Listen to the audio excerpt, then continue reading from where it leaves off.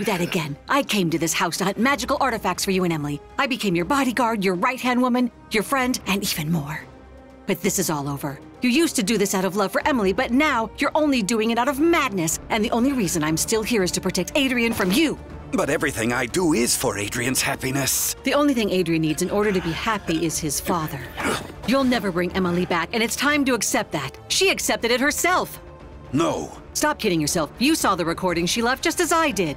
Emilie always deserved more than what she wanted. That's why I made you destroy the recordings. I... I couldn't bear them. It's too late anyway. I can't give up now. No. If you don't help me make the wish come true, I won't be able to save myself. I won't be able to save you either. If we don't do something, Adrien will be left all alone.